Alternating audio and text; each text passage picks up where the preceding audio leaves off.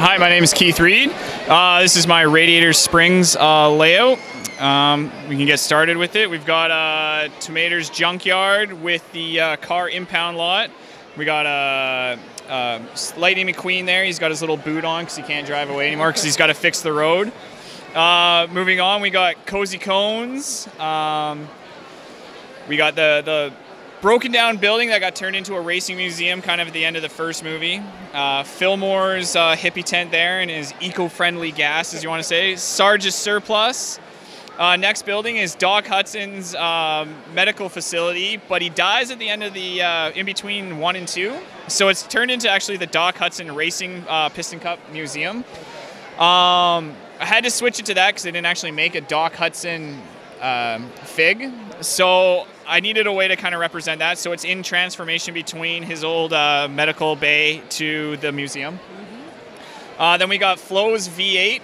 Um, and then across the street from that, we got the Radiators, eh, Radiator Springs Curios, which is get all your junk and Route 66 uh, bumper stickers.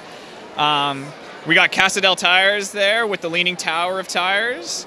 Uh, then moving on, we got Ramones, which is his body paint shop, and we actually look inside. We can see um, we can see Finn McMissile from Cars 2, along with the Queen and a few other cars getting repainted. And then uh, a little shot back to the first part of Cars with the with the for sale buildings because the town's kind of gone bankrupt and not a lot of people are there. So we've got just some dilapidated buildings looking to get spruced up. And then moving on, we got the final, we got the town hall and the fire station there with Stanley, the town's founder, um, statue. And then a nice little Pixar throw in. We've got uh, Buzz and Woody, and we've even got uh, WALL-E with the junkyard and a disintegrated uh, C3PO in there as well. A little throw in for, yeah. And then tra- oh, tractor tipping at the very end with Tomater and McQueen there. So, yeah, yeah. So you got the whole city layout here. Pretty much the whole city layout, yeah. So, saw the movie, um, thought, oh, that's really cool. I really like the Art Deco look of Route 66 and Radiator Springs, and I always like seeing different things. I'm like, and I always say, I'm like, that'll look amazing in Lego. That'll look amazing in Lego. So, my wife always like says, she's like, you say that with everything, but I'm like, well, we gotta we gotta make it because this would be a really cool layout. Cars 3 just came out. This will be a, like a really good thing for everybody to see at BrickCon. So I'm gonna try to hustle and make it for BrickCon, and here we are. So, mm-hmm. yeah. Yeah, so this is this is really awesome. Talk about some of maybe your favorite techniques in here. One thing I noticed is the cones, the interesting shapes you had to do to, to get that technique. Yeah, so the cones were definitely an interesting one. When I got to that one, I was just kind of like banging my head on a wall. I'm like, how am I going to do this? I tried a few different techniques. I tried just using like the the wing angle plates and trying to just kind of turn them in a, in a circle and trying to mount them and see if I could get. I didn't really like it. There's too many gaps and stuff, and it didn't really sell a lot. Plus, orange doesn't really come in those wing plates a lot. They're really unavailable. And then I went to the, uh, I think I'm going to probably butcher his name wrong, but the Orosville sphere uh, technique with the with the ball um, that he does with the with the Travis Brick technique. I went to that type of um, technique and then tried probably 20 different ways to, to get it done, and then I finally came up with what you see in front of us. So, yeah, and then trying to get the flatness on the front for the garage doors was another little add-in trick. So, but we eventually got it. So, and I think it's turned out to be everybody's little favorite uh, of the building so far because it really pops and stands out. So, yeah.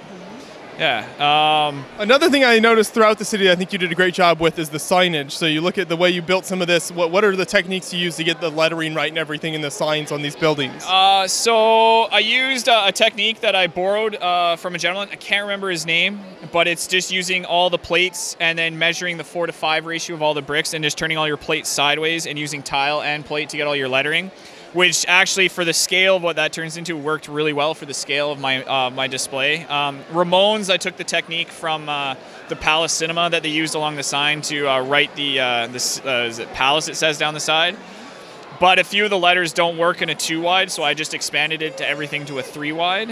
Um, and then V8 and Flo's and stuff like that just used basic shapes and hinges. Um, and uh, a lot of the other stuff, the lettering needed to be really too small, so I did cheat a little bit and get some stickers and have a little label maker, so printing them all out. But where I could, I tried really spelling out all the letters, and I thought it was very important to do the "Welcome to Radiator Springs" in a brick built Lego just as a as the entrance to the as to the display. So.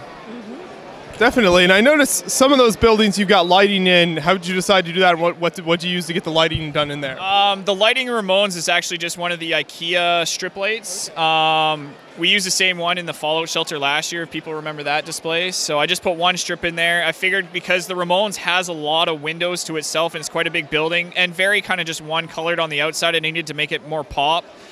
So I tiled the inside and I put a few of the uh, the figs in there. I also noticed when looking at some of the research that all along his windows he's got um, hoods of cars painted in all different shapes and sizes, kind of as his advertising.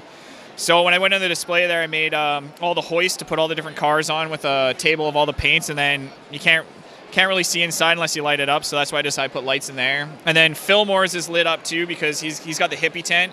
And in the TV show, or sorry, in the movie, it glows. It almost looks like the tent is glowing a little bit. So I needed a kind of way to to spruce that up a little bit too. And the Geospe- uh, Geo the Geodome that is his tent needed to pop a little bit more, and I thought a light would actually help with that a little bit too. So.